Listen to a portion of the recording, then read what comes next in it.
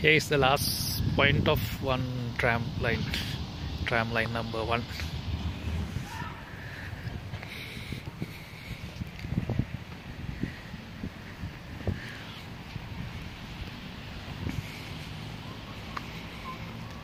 That's a hotel, Hotel New Century.